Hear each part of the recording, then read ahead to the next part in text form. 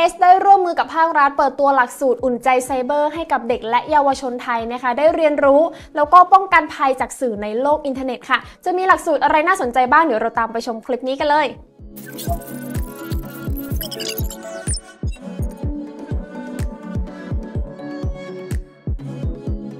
สวัสดีค่ะพลอยมดนะคะ จากเมื่อกี้เนี่ยที่พลอยได้พูดถึงหลักสูตรอุ่นใจไซเบอร์ไปนะคะ ซึ่งทาง AIS เขาก็ได้ร่วมมือกับภาครัฐ 4 หน่วยงานหลักด้วยกันค่ะ ได้แก่กระทรวงสาธารณสุขนะคะ กระทรวงศึกษาธิการ กระทรวงมหาดไทย และมหาวิทยาลัยเทคโนโลยีพระจอมเกล้าธนบุรีในการเปิดตัวหลักสูตรอุ่นใจไซเบอร์นี้ขึ้นมาค่ะ เพื่อเป็นการผนึกกำลังร่วมกันนะคะ ระหว่างภาครัฐแล้วก็ภาคเอกชน ในการยกระดับการเรียนการสอนในยุคดิจิทัลนะคะ แล้วก็เพื่อเป็นการป้องกันภัยจากโลกอินเทอร์เน็ตด้วยค่ะ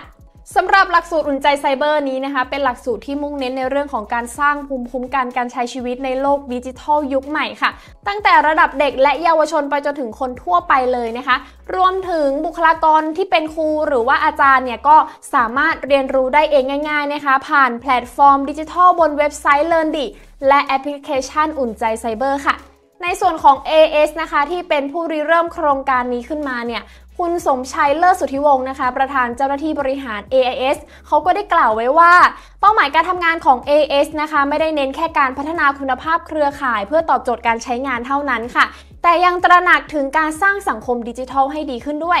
ดังนั้นนะคะ โครงการเรื่องการใช้งานปลอดภัยตามแนวคิดอุ่นใจไซเบอร์นี้เนี่ยจึงถูกจัดตั้งขึ้นมาตั้งแต่ปี 2562 แล้วค่ะ เพื่อเป็นแกนกลางในการชวนชวนทุกภาคส่วนนะคะ ให้มีโอกาสได้เข้ามา ร่วมการสร้างการเปลี่ยนแปลงในทางบวกให้กับสังคมดิจิทัลของไทยค่ะ สำหรับสื่อการเรียนการสอนหลักสูตรอุ่นใจไซเบอร์นี้นะคะ จะเป็นรูปแบบกราฟิกแอนิเมชันที่จะทำให้คนที่เข้าไปเรียนเนี่ยสามารถทำความเข้าใจได้ง่าย ๆ เลย ไม่ว่าจะเป็นในส่วนของการเข้าไปเรียนรู้เอง หรือว่านำไปเป็นสื่อการเรียนการสอนให้กับเด็ก ๆ ค่ะ ซึ่งทางกรมสุขภาพจิตนะคะเขาก็ได้มีการจัดทำเนื้อหาให้เหมาะสมกับประชาชนทุกกลุ่ม ทุกเพศทุกวัยค่ะ เพื่อเป็นการเตือนแนะนำนะคะ ให้สามารถรับมือกับเนื้อหาต่างๆ ในโลกอินเทอร์เน็ตได้นะคะ จนออกมาเป็นหลักสูตรอุ่นใจไซเบอร์ที่เราเห็นกันอยู่ตอนนี้ค่ะ ซึ่งหลักสูตรนี้นะคะมีการนำเสนอในรูปแบบ 4P 4ปค่ะสำหรับ P แรกนะคะจะเป็น practice ค่ะ เพื่อปลูกฝังให้มีความรู้ความเข้าใจในการใช้งานเทคโนโลยีดิจิทัลอย่างถูกต้องและเหมาะสม P ที่ 2 นะคะ personality จะเป็นการแนะนำการป้องกันความเป็นส่วนตัวในโลกออนไลน์ค่ะ P ที่ 3 นะคะ protection เป็นการเรียนรู้แล้วก็ป้องกันภัยไซเบอร์บนโลกออนไลน์ค่ะ และ P สุดท้ายนะคะ participation รู้จักการปฏิสัมพันธ์ด้วยทักษะและพฤติกรรมการสื่อสารบนโลกออนไลน์อย่างเหมาะสมค่ะ ซึ่งหลักสูตรเหล่านี้นะคะเขาก็ได้ผ่านการรับรองมาตรฐานจากสำนักงานคณะกรรมการข้าราชการครู และบุคลากรทางการศึกษา หรือกคสจากกระทรวงศึกษาธิการแล้วค่ะ และนอกจากนี้นะคะทางกระทรวงศึกษาธิการเนี่ยเขาก็ได้มีการขยายผลไปยังโรงเรียน แล้วก็นักเรียนในสังกัด สพทอาชีวศึกษารวมถึงกศนด้วยค่ะนอกจากนี้นะคะทางด้านกระทรวงมหาดไทยเนี่ยเขาก็ได้ส่งต่อหลักสูตรนี้ไปให้กับองค์กรปกครองส่วนท้องถิ่นด้วย เพื่อให้เยาวชนไทยได้รู้เท่าทันภัยจากโลกไซเบอร์ที่แฝงมากับการใช้งานอินเทอร์เน็ตนะคะ รวมถึงสามารถใช้เทคโนโลยีให้เกิดประโยชน์สูงสุดด้วยค่ะ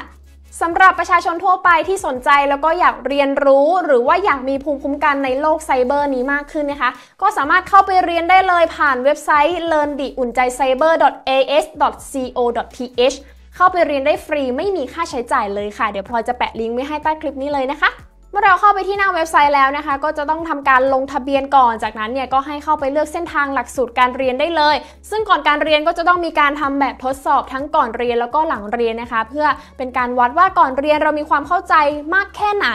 และหลังเรียนเนี่ยเราเข้าใจหลักสูตรนี้จริง ๆ หรือเปล่าค่ะและถ้าหากว่าเราเรียนครบตามบทเรียนที่เขากำหนดไว้แล้วเนี่ยก็จะต้องมีการทดสอบหลักสูตรนี้อีกครั้ง เมื่อเราผ่านเกณฑ์แล้วนะคะ เขาก็จะให้เกียรติบัตรรองรับการอบรมหลักสูตรอุ่นใจไซเบอร์นี้ให้กับเราเลยค่ะ และนี่ก็เป็นหลักสูตรอุ่นใจไซเบอร์นะคะ ที่พลอยได้นำมาฝากกันในวันนี้ค่ะ ส่วนตัวพลอยเองแล้วเนี่ยก็แนะนำนะคะแล้วก็อยากให้ทุกๆ คนได้เข้าไปเรียนรู้ เพื่อที่จะได้รู้เท่าทันสื่อมีสติ แล้วก็รับมือกับเนื้อหาต่างๆ ในโลกโซเชียลได้มากขึ้นค่ะ แน่นอนว่าเทคโนโลยีปัจจุบันนี้เนี่ยไปไกลมากๆ เพราะฉะนั้นตัวเราเองนะคะก็จะต้องเรียนรู้แล้วก็ปรับตัวให้เข้ากับโลกดิจิทัลในยุคใหม่นี้ด้วยค่ะ เพื่อจะได้ไม่ต้องตกเป็นเหยื่อตามข่าวที่เราเห็นกันทุกวัน ไม่ว่าจะเป็น fake news หรือว่าการเข้าถึงข้อมูลส่วนตัวในโลกออนไลน์นะคะ เรียนรู้ไว้อุ่นใจกว่านะคะ ถ้าถูกใจคลิปนี้เนี่ยก็อย่าลืมกดไลค์กดแชร์แล้วก็ฝากกดติดตามช่อง i m o d Official ไว้ด้วยค่ะ ไว้พบกันใหม่คลิปหน้า สวัสดีค่ะ